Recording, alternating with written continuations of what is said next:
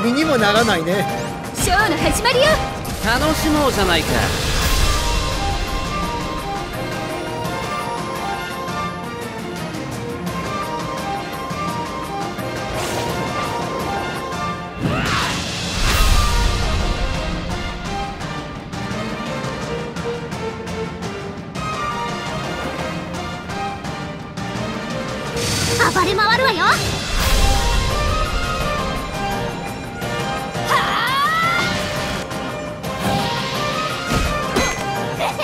ジュナそろそろ起きてよ。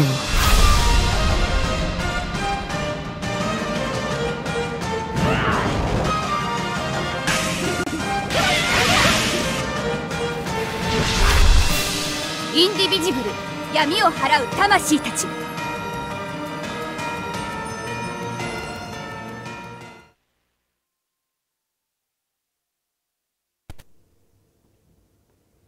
ーい、皆さんこんばんは。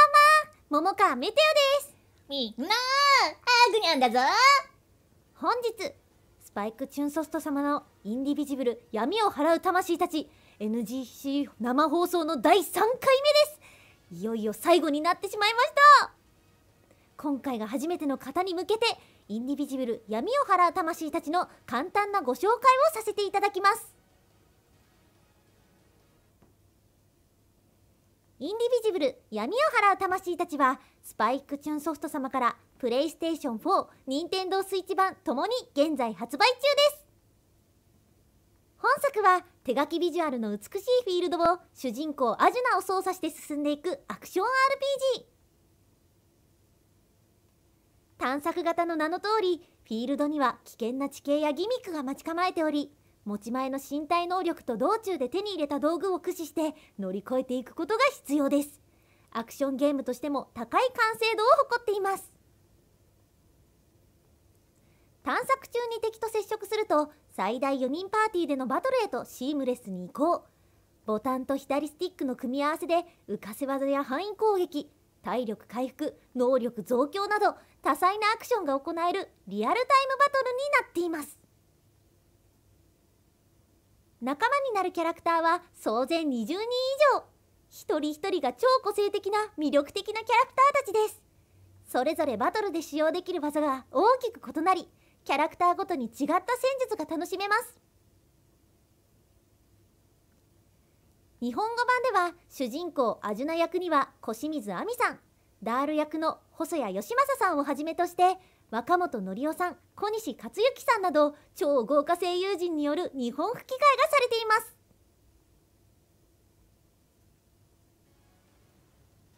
パッケージの他にもダウンロード版を現現在好評発売中ですのでぜひチェックしてみてください。はい。もしかしたらもうクリアした人もいるかもしれないな。ねえ。どうかな？どうかな？どうかな？お PS4 版を遊んでおりますよ。あアグニャンがかなりうまく操作してたことが分かった。えへへへへそうなんだよね。かなりうまいんだよねアグニャンね。うん嬉しい。あクリアしました。バトル楽しいっていう。えー、早い。おおすごいね。アグニャンも早くクリア見たいな。ふんふん。メテオの説明読み上げボイス好きだってありがとうございます。クリアおめおめでとう。アグニャンのうまさをすごく実感している。おほほほほわかる。わかるよ。いやでもそう言われちゃうとねドキドキしてきちゃうな。お。今回3回目。やってこうやってこう。うん。うん。まあねまだの人もめちゃくちゃ面白いからぜひプレイしてくれよな。前回は前リファ校までをプレイしましたダバナバーを追いかけてスメル山で決着をつけたが破壊の女神カラが覚醒しアジュナがその器となり大爆発を起こす。アジュナと仲間は困惑しつつも今後の行き先を決めるためマエリファ港を目指したのだ。砂漠のサンドワームを倒して前リファ港に到着したところからスタートです。髪から水が出るディーバの空にと盾で戦うカディーラが仲間になったな。まだまだ仲間は増えていくぞ。今日はどんなキャラが仲間になるのかな。楽しみだね。それでは早速スタートです。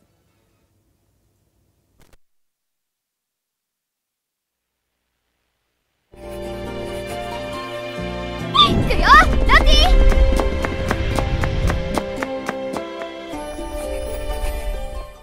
イケメンは強いんだよ。今よく気づいたね。だって光ってるもん。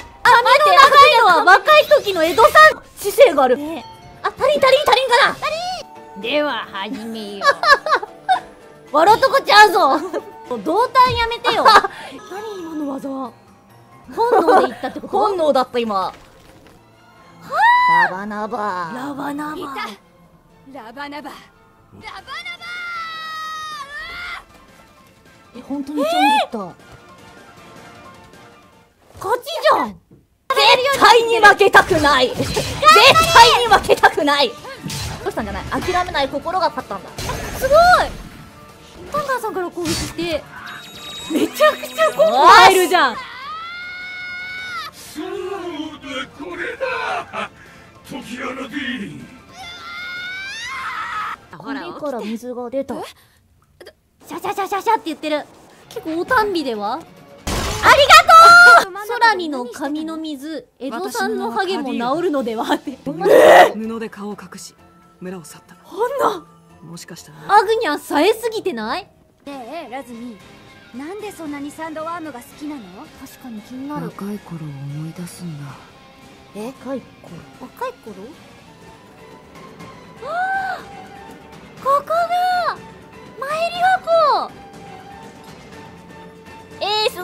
か活気がある。ねえ素敵ここがマエリファ湖世界の門よ。空飛ぶビバナトリレが崩壊。で砦からとりあえず何も考えずになんとかなるで飛び降りたんだよね。そう。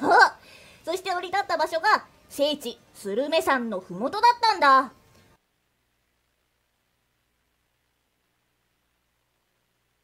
聖地スルメ山の麓だったんだ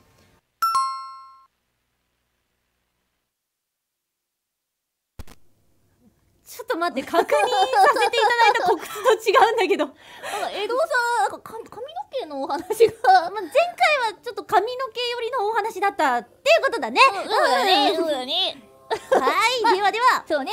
まあ気を取り直して今回はマエリファ港からスタートだ。BGM もテンション上がるね。ほはーい。じゃあこっちに入りまーす。はいこれさ、これパーティーどうしようかな。あ確かに。ちょっと変えてこうかな。えでも結構さ戦闘能力高いメンバーだよね。そうだね戦闘民族パーティーになってる。いっか。いいの？アグニャ。ンえなんか入れたいの？色私はもうダールが入ってるから全然大丈夫だよ。そのまま。あじゃあゼーベゼーベあでもカディーラ仲間になったしちょっとこのまま行くか。うん。お話ししてみよう。オッケーあじゃあ今回私がやろうかな。あ NPC うん。お願い。よそ者かい。仕事を探しに来たんなら当てが外れたね。鉄の王国の尻にキスする以外仕事はないよ。だって？え？それのどこが仕事なの？ただの例え話さ。言葉通りの意味じゃ。うんラズミはやった方がいいんじゃないのアグニャン えああぐにゃん。うんあんたは鉄の王国の尻にキスするのかい？まさか私はそもそもなんでこんな話をしてるんだ？あなたが言い出したんでしょ？ああそうだったかもね。まあ忘れてくれない？次からは有益な情報を教えてくれそうだね。そうね。いいね。おおいいねいいね。いいねなんかかっこいい人がいる。ねふんふんえどん。どん話しかけちゃおうかな。食べ物を通じてその国の文化のことをたくさん学べるんだおおおインディビジブルはうん。クラウドファンディングしてゲームが開発されたので出資額に応じていろいろな特典があったみたいですよ。お情報ですよ。マエリファ港からの NPC はその特典の一つ。お。出資者がデザインに参加した NPC が登場しています。なるほどね。さらにコラボとして他のインディーゲームで登場しているキャラクターもいたりしますよ。おお例えば？お例えばショベルナイトとからしいよおおゲームスでも紹介したね。そうそう。ちょっとじゃあ話しかけてみるね、ぜひ見てってくれ。お土産でマイリファでの思い出をいいものにしよおひうげのおじさん。そうお主はわしのように呪われておるな。うん待てよ違う。お主はわしよりも優しい魂どもに取りつかれておるようだな幸運だと思い若き戦士よ運命はより残酷なものになり得るのだ。えなんかいろんな声聞けていいね。やったね。というかあの人もなんか能力がありそうだね。ねえ。おこっちにもいるよ。お本当だ。あ。女子会？女子会じゃなかった。うん。何か悩み事？ああ鉄の王国さ。奴らから奴らを港から蹴り出してやりたいんだけどついこの前新しい服を買ったばかりでさ。それが理由で戦えないってこと？このスポーツウェアに返り血を浴びせたくないんだよ。強そう。でもどうせ運動するときに汚れない？このスポーツウェアは 運動するためじゃなくファッションのために着ているのさ。えそうなんだ。うーんそれなら。そうだから鉄の王国がまだこの辺にいられるのは僕がファッションを何よりも大事にしているおかげだね。私が持っている服は一着だけ。自分っていう服よ。そんなんじゃ僕みたいに強くなるのは無理だろうね。絶対アジャなのが強いもん。あんたにはわからないわよね。結構辛辣に返してた。い いね結構個性的だね。可愛いよ。あ可愛いヤンはマラの酒場のスターで私のアイドルなの。もし体育欄に行くなら絶対に会うべきよ。会場のみすぼらしさに騙されないでね。彼女には誰にもない優雅さと身のこなしがあるの。かかわいいねかわいいねえ？うさちゃんじゃん。ハグニャン好き。サガン。だがしばらく本物のた 戦いに身を置いてないんだよね。演じる方に慣れちゃってモンスターの顔にハンマーを振り下ろすのがどれだけ気持ちいいか忘れちゃった。おお古き良き日々を思い出すな。でも故郷のファンたちのことも忘れられないよ。スターになるって大変だね。スターなんだ。いいハンマー持ってるな。いいハンマー持ってるね。う おお。俺の思い違いか。それともお前が魂を何個も体に取り込んでいるのか。おかしな感覚だお前を倒してやりたいが師匠から任務中に集中を切らすなと命令されていてな。達者でなまた会うことになるかもしれんが。はあなんか男の人が特殊能力持ってそうなね感じだね。あピンクの髪の姉さん。ふん。なんでまたあの年寄りの間抜けな曲が流れてるんだ？ああこんにちは。へへ。君面白そうだね。私はマナ。マナさん。酒の輸出に興味はないかい？もし市場にないものが欲しいんだったら私の仲間に聞いてみてくれ。荒波の覇者って言うんだ。かっこいい。かっこいいね。荒波の覇者。こっち行ってみようかな。これは右にのびのび登っていくの？うんとりあえずね進んでみる。うんうん。おこっちにある。これかな。なんかそうだね。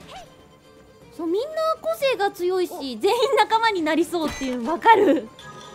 仲間になってほしい。あリーセルゲットしたよこんなところにリーセルが。こっちは来ないんだね。うんうんうん。お可愛い子がいるよ。西日がきついな。そんおおだから日陰にいるんだね。ごきげんよう お嬢さん。よければ少し。もう一回やってもう一回やってもう一最初から。え？本もう一回最初からやって。当ごきげんようお嬢さん。よければ少しこの老いぼれの相手をしてくれんかね。いいわよ人助けは好きだから。それでどうしたいの？ダールだよ。信用してもいいぞ。病的にお人よしなんだ。ちょっと待って私ダールの行けばできないからやめて。ちょっと。やってよ。実は帽子をなくしてしまってね。あなたの帽子？それは確かに問題ね。今おじいさん混大丈夫じったでしょ。私今一生おじさんやりそうになったけど大丈夫ほら見た目よりヨボヨボ感が。そうなんだ。特に気に入っていた帽子でね私のベストと同じような茶色で前に小さなつばがついている。あれなしでは格好がつかないんだよ。あなたが今頭にかぶっているようなやつ？本当だ。いやかぶっているはずの帽子なんだ。それがないことが問題なのだよ。かぶってるわよ。私には見えるわ。そこにあるはっはっは想像力豊かなお嬢さんだ。だけどからかわないでくれ。私は本当に困ってるんだ。こっちのセリフじゃ。どういうことこれ？そこにあるってば。あなたも見えるわよねダール。もちろん。おおじおじさん。混ざっちゃうんだよ。帽子なんてないわ。だがやめて。おじいさん混ざってるからちょっとダールやっていいえそこに帽子はないわ。そうでしょダール。あえアグニャ？あぐにゃあああそうだな。その通りだ。残念だが帽子はないようだな。え？じゃあ私が幻を見てるの？ともあれ見つかったら教えてくれないかね。あれがないとどうにも落ち着かない。ダール G 言われてるよ。ええ必ず。あああ伝えようもう気味が悪い。幻の帽子よ。本当だよな。あらまあ本当に可愛い子ね。ほうかぶってるな。かぶってるんだよな。あおおこれは？おなこんにちは。マイリファ港へようこそ。でも今は普段よりちょっと危ないよ。こんにちは。危ないって兵士がいるから？ええ大きな声では言えないけど彼らが港のためを思って駐留しているとは思えないの、気をつけるのよ。分かったわ。忠告ありがとう。ほう。お。おタルは？若き旅人よ。耳をお貸しください。はい。耳を？そんなの無理よ。質問があるという意味です。はい。ほう余計を言え預言者。やめてよ。私の職業はお分かりなのですね。私の名はタルはしがない運命の語り部でございます。私はあなたに運命を伝えて差し上げれます。お金なんてないわよ。仲間フラグおお金は必要ありませんよ。ただよかった。私すっからかんだからそんな元気に言うこと元気だな。あなたの手助けをさせていただきたいのですびっくりした。まあいいけどさ。アジュナと話していると ああいう態度にもなるというものだ。お前の意図が本当だとしてその目的は何だ？強い運命の導きを感じたのです。私は複数の糸が絡み合い一つのロープのようになっているのを見ました、そしてそこに引き寄せられるのを感じました。私のロープに引っ張られた？はい。そうだと思いますうん？じゃあ私の運命を教えてくれるの？もしも道に迷うことがあれば私が導きましょう。それは良さそうね。でももう料金の話はしないでね。さ最初からしてない。いえそもそも私は。おおお仲間になった！ああ複数の人と感じたのはこういうことでしたかお前の預言者としての力は凄まじいな。ダール面白いんだよな。やめてくれ。ありがとうございます。あなたのようなハンサムな若者に褒めていただけるとは嬉しい限りですね。いや気持ち入ってたね。入っちゃった。私が入っちゃった。れ令和無用だ。照れてる。皆さんにお会いできたことを嬉しく思います。もしも道に迷うことがあれば私の元へ来てください。サポートキャラクターみたいな感じなのかな？ねうんほうほうほう。えおじゃあここからは気になる NPC だけ見てこうか。うんうん。あもういきなりいるな。カフェネズさん。こんにちは皆さん。ダメ？えダメ？なんだっけ？こんにちは皆さん。ガラクタから物を作るのが好きな何でも屋です。あなたの助けになるのもあるかも。はでも気をつけてください。僕が作ったのはどうも不安定でえー、なんかさ T シャツがさ、うん。かんえなんか絵文字だね。顔文字顔文字顔文字が書いてあるね。かわいいじゃないですか。武士だ。え？ワンちゃん。これ気になるね。喋った絵を描いてる時完璧を求めてると疲れちゃうわ。その次に待っているのはスランプね。わかる。すっごいわかる。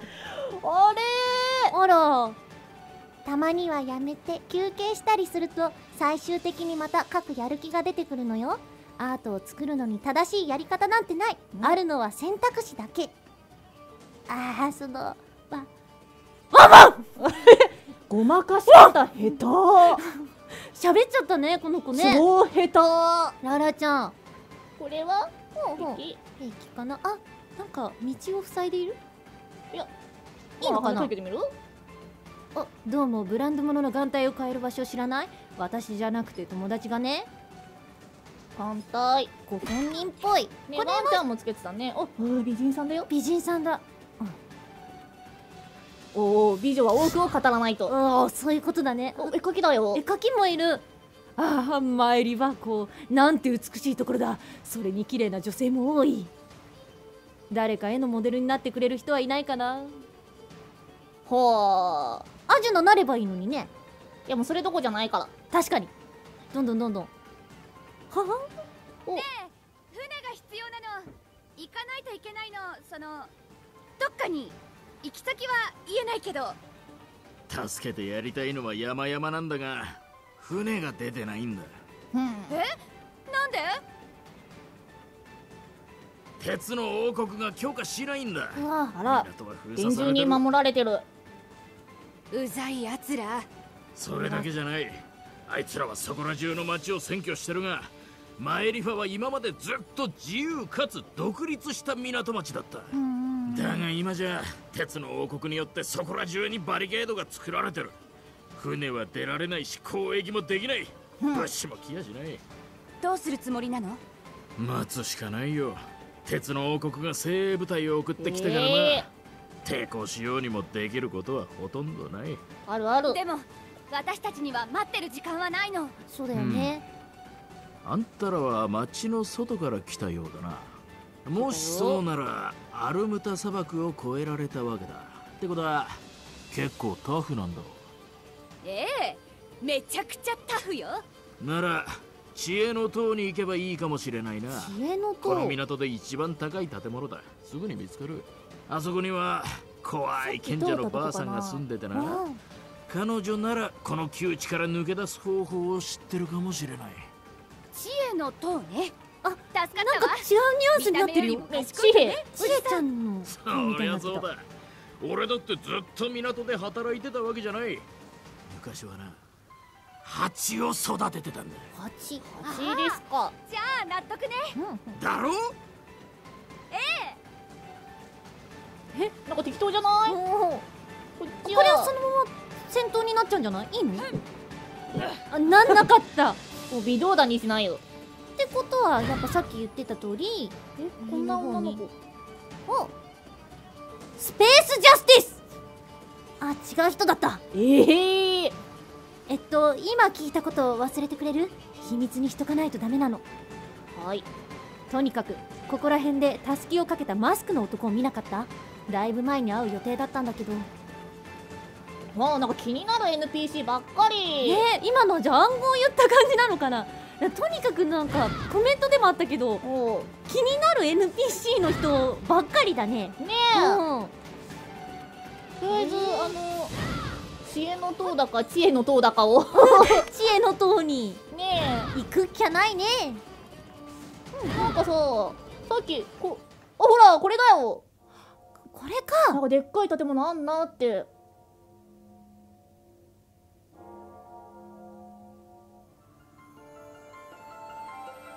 それで誰か知恵さんの塔について知っ勘てる？違いをしていた知恵の塔です聞いたことないんですかうーん。あんまり。えっとですね科学の世界ではとても有名なんです。へえ。知恵の塔は現代最高の学者の一人が運営している研究施設なんですよ。あら。聞いた話ではすごく閉鎖的だとか実際に訪れることができるなんて思ってもみませんでした。閉鎖的なの？ラバナバーは利用価値がなくなったらここを破壊するつもりだった。その時はもうすぐだと奴は言っていたんだだからここはカラに関連する施設に違いない。用心するべきだな。まずぶっ飛ばしてそれから聞きゃいいよ。ノックしてみるわね。う